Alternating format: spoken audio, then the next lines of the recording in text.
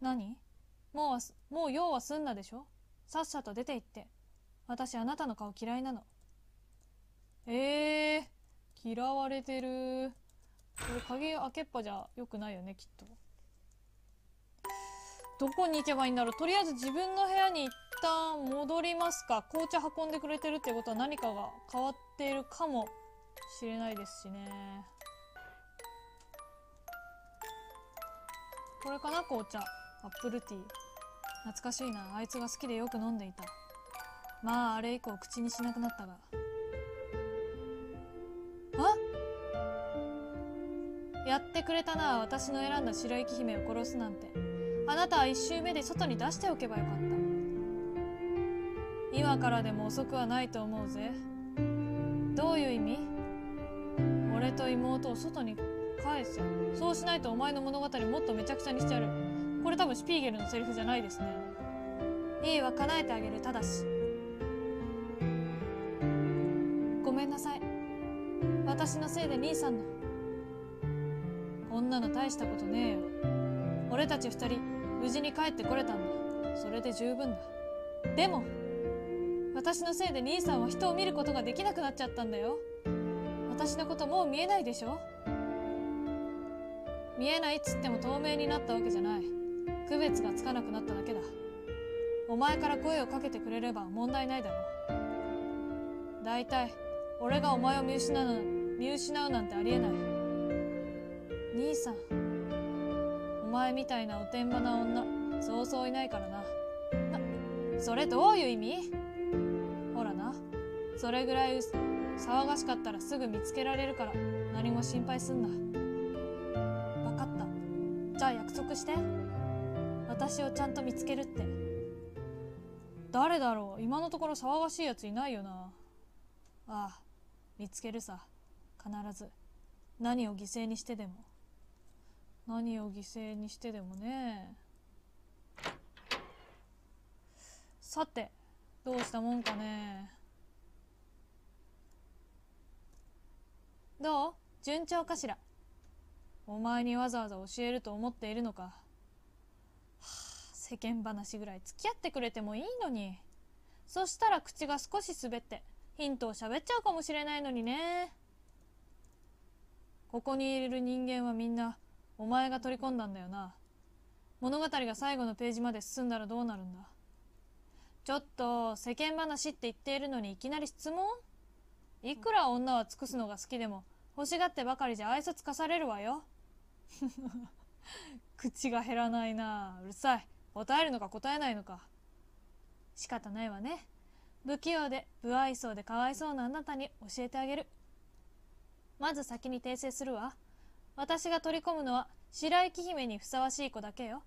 それ以外の役は私が作り出したエキストラ。だからあなたがどんなに王子らしくない行動をしようとも誰も疑問に思わないでしょ。でも取り込んだ子は意志を持つから変な行動にば行動ばかりとっていると取り返しのつかない結末になってしまうわ。気をつけてね。さて本題に戻りましょう。一度結末を迎えた場合取り込んだ子がどうなるか。それは物語の終了と同時に一人その生を終えるの。望んだ通りの役になれたのだからたとえ死んでもあの子たちは幸せでしょ？死ぬことが幸せ？そんなわけないだろ。うなぜあなたがそう言い切れるの？彼女たちが何よりも欲していたものが手に入るのよ。何よりも喜ばしいことでしょう？だから殺していいと？ちょっと違うわ。私は美しいものが好きなの。彼女たちは死に際がより一層美しい生にとらわれ死に怯えるいい表情をするのよ。だから美しいものを美しいままとどめておきたいと。そう思うのは何かおかしいかしら。それに彼女たちが死に追いやられるのは私のせいじゃないわ。この世界を作って最初の白雪姫の偶像を作ったのは私だけど彼女たちが死ぬのは自らが生み出した白雪姫への執着よ。お前がそうなるように仕込んだんじゃないのか。そしてそれを見て嘲笑いながら楽しんでいるんだろう。悪趣味め。そうかもね。だからもっともっと私を楽しませてちょうだい。時間はもうないけれど。はあ全然ヒントにならねえ。あらあら。面白いことになってきたわよ。隣の部屋で白雪姫があるものを探してる。自分で確かめに。えー、隣の部屋？何もなかったよね部屋には。あ。やばいんじゃないの？やばいんじゃないの？隣の部屋って何があったんだろう？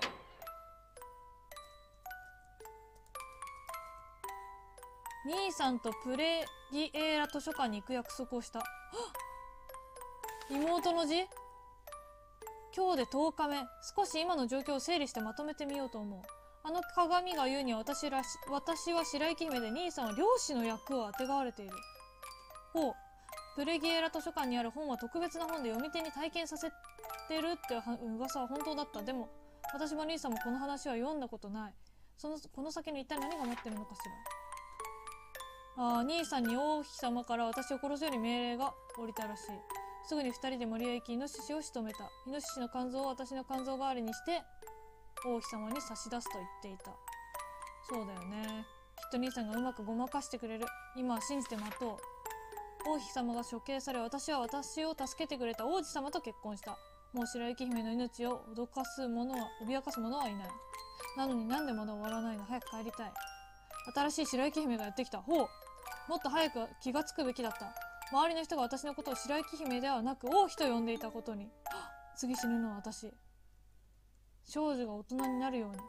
世界で一番美しい姫は世界で一番美しい王妃へと変わる。そんな王妃が産んだのはややがては世界で一番美しくなる娘。ループするんだ。その事実を知った王妃は嫉妬とこの先へ訪れる。絶望に苛まれ新たな白雪姫を殺そうとする。こうすることで永遠に終わらない嫉妬の連鎖を作り上げてたってことか。最悪のシナリオだ。きっと何をしてもこの運命から逃れる術はない。ならせめて巻き込んでしまった兄さんだけでも元の世界に返さないと。息を吐くし守るために。今度も俺が助けてみせる。待って。じゃあどこに行っちゃったの？何しに行ったの？あいつは。他には？わ縄がない。ちょっと待って首絞めに行ったんじゃないの？うわちょっとなんかなんか助ける道具とかないの？なさそう。やべえな。逆に言うとさ白雪姫は女の子たちの憧れとしてだけど男の子が入った場合って狩人か王子様ってことだよね。ちょっと待ってなんか武器とかが包丁とか持っていけないの？このこの包丁は？ダメか。お腹でも空いたんですか？お腹はいつも空いてんだよな。うわー特に何も持っていけなさそうなのでとりあえずじゃあ王妃様のいるところに行くべきか。鍵は閉めてある。鍵は閉めてあるからそんなに心配はいらないかもしれない。あ？なんで明かりが消えている？やばい。てれん。呼吸をしていない。首に巻きついている。これが原因か。一体何が起きてる？いや考えるのは後だ。早く首に巻きついている紐を外さなければ。クソ硬い。外れた。おいしっかりしろ。生きてたか。一体何があったんだ。私生きてるの？なんで助けたの？今助かってももうすぐ死ぬのに。死にたいのか。ええー、ほっといて。わあどういうことだろう。これは白雪姫がやったパティーンですね確実に。何かがおかしい。王妃が考察されるなんてそんなの物語にはなかった。そう。意図的に改変しようとしてる。死刑が決まっている王妃を殺して何の意味がある？それだよね。物語を終わらせようとしている。いやでも成り代わったのにって言ってたあの白雪姫の一言がちょっとなんか意味わかんないよね。白雪姫はどこに行ったんだ？実質に戻ってんのかな？あいた。随分と暗い顔して何かあったのですか？実は。まあそんなことが。心当たりないか。私にはさっぱり。お願いがあるのですが。お母様に見舞いとしてリンゴを届けてほしい。私では受け取ってくれないので。ああ王子様しかいない。引き受けるリンゴは厨房か。そっちではなくお母様の部屋のある。これはやばいんじゃない？これはだって自分で作った毒リンゴでしょどうせ。ちょっと白雪姫マジで怪しいんじゃないの？変だな。さっきまであんなにおか母親が処刑されるのを喜んでいる様子に見えたのに。それに王妃の部屋にあるリンゴは毒リンゴだ。いくらなんでも白雪姫が知らないわけがない。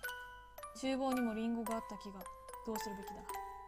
わあこれは白雪姫の言うこと聞くべきじゃないんだろうな。ちょっとここでまた話しかけてみようか悪魔に。あなたを取り込んで正解だったわね。おかげでとっても楽しめる。うわあダメだヒントも何も教えてくれない。一応お母様の部屋はどこだ？鍵が開かない。自分の部屋にはわ何これ？俺が使ったナイフ。こいつに頼ったらエレインは今度こそ俺を許さないだろうな。ナイフを取りますか。うわマジかここでナイフを取るパターンもできるのか。ちょっと待ってよ。えー、セーブを分けましょうか。取る。お母様開かなくなってる。リンゴはどこだ？あれか。リンゴってここか。えー、あ？待って待って。食べちゃった。食べちゃった食べちゃった。間違えた。それは間違えたわ。えー、っと毒リンゴを手に入れると。毒リンゴも手に入れるけどキッチンのも手に入れておくと。なんということでしょう。片方しか手に入れることができないみたいですね。ということは一旦毒リンゴ渡してみる系でいってみますか。そうすると何か物語が進むんですかね。まあ絶対にあの白雪姫は信じちゃいけないパティーンですけど開けるやるよ。あの子から？そうここで終わるのね。死んだ。わああなたは何も選べずに終わるのね。ゲームオーバー。簡単に終わってしまったよ。ということはじゃあ今回はこれを取ってりんごはシャクシャク食べられる方を取ればいいっていう感じですかね。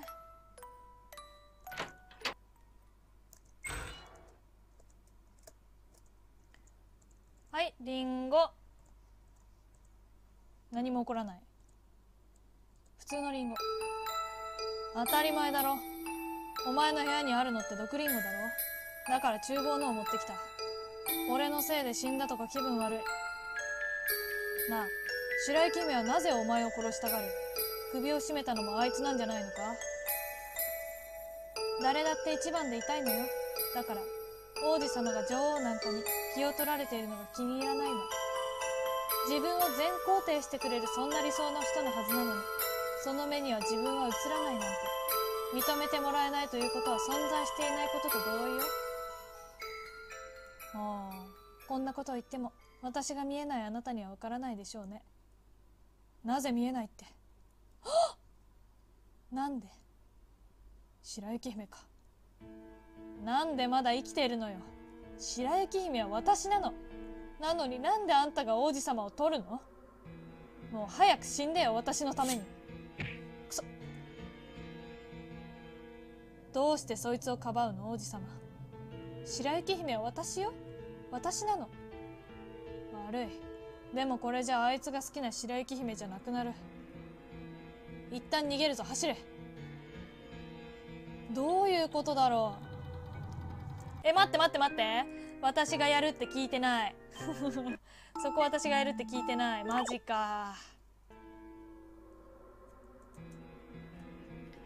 走るってどこまで走るんだろう。自分の部屋まで行ったらいいのかな。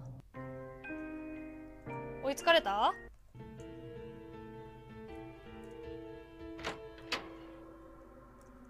キリがない。どこかに身を身を隠すべきか鏡の鏡のある部屋に。鏡のある部屋に。鏡のある部屋。来た。これからどうするか。きっとすぐにここもバレる。それまでに何か手を打たないと。助かる方法ならあるわ。魔法の鏡。この人物語の外に出してできるでしょ。何を言ってる。美しい王妃様それはできません。彼は私と取引をしてゲームに参加しました。途中リタイアは認められない。それはあなたがよく分かっているはずです。ちょっと待て。お前がなんでお前そこまでする？さっきの言葉だってどうして俺が見えないことを？まさか。妹？はあ彼女エレイン。人違いよ。何言っているんだ。ほら帰るぞ。違うって言ってるでしょ。あな相手が認めないのであればその子はあなたの妹ではないことになるわね。なんせあなたは本人と確認する術を持たないのだから。なんで？なんでだよ。ごめんなさい。あなたが彼女のためにゲームに参加したとのしたのと同じで。彼女もあなたのために私とゲームをしているのよ。彼女はあなた、えー、あなたは彼女を見つけ出せれば生きて連れ戻せる。彼女は役を演じきればあなたの目を取り戻せる。はあなるほど。お互いがお互いのために美しい兄弟愛じゃない。待て。それだとどちらか片方しか叶わないということか。ご名答。来てくれて嬉しかった。最後に会えた。それだけで満足だから。白雪姫の王子様は死なないから安心して。ふざけんなよ。もう逃がさない。ここまでのようね。あら諦めるの？なら望み通りにしてあげる。やめろ。王子様どいてください。私はお母様の望みを叶えなければいけないんです。いい加減にしろ。こんなのが望みなわけないだろ。やめて。いいの。王妃は白雪姫に殺される。これが私の望みなの。ざけんな。お前が好きだと言って楽しそうに聞かせてくれた白雪姫はこんな話じゃなかった。意味のわからないことを言わないで。白雪姫は私なの。私が作る物語が全て正しいの。だから邪魔しないでよ。修羅場だねこれ。さあ教えてちょうだい。あなたの選択を。あーどっち取るかってことか。セーブしよう。今回この辺にしますか？じゃあとりあえずこっちを殺しましょうか。ん？そんな。妹が殺されました。こうして悪い女王は死に白雪姫は王子様と結ばれて世界で一番し幸せで美しい王妃となりました。めでたしめでたし。さ。あまずは素敵な物語の結末に拍手を。そして何も見つけられなかった青年には哀れみを込めて激励を。うわもう一度だ。もう一度。美しくない。自分のことしか見えていない醜い男。こんな男のために彼女は自らの命を私に捧げたの？こんな報われない話。あまりにも悲劇的ね。おい。聞こえているんだろう。早く次の物語を。黙れ。醜い人間ごときが私に意見するなあなたの望みは何だったの？妹を連れ帰ることじゃなかったのかしら？その相手がいなくなったことに気がつかないの？何を言ってるんだ？エレインはお前が。ああそれさえも見えていないのね。救いようがないほど愚か美しくあり続けたあの子との約束はしっかりと果たしましょう。だけどあなたが奪ったものを返したとして私が奪ったものを返したとしてこの醜い男は自らの目を塞いでいる。彼女の願いは無意味に終わるのね。どういうこと？あなたは美しい光を自らの手でえー、なら一生その暗闇の中ではいうわー。一人でね。さよならもう会うことはないでしょう。これだけは持っていきなさい。だけど誤解しないで。あなたへの慰めではなく彼女への手向けよエレインのリボン。わあマジか。これバッドエンドに行っちゃうパターンじゃないの？わあマジか。調べるって何を隠れるってなんで？どうでもいいか。忘れるような用事なら大したことないだろう。帰るか。マジか。これ帰るの？帰って終わるパターン。バッドエンド。さようならパティーン。マジか。これで出て終わりなんじゃない？もしかして。うわ。悪い夢でも見ていたような気分だ。帰ろう。うわーマジか。どこに帰るんだろう。なんだこれリボン。俺のじゃないしいらねえな。はあ捨てた。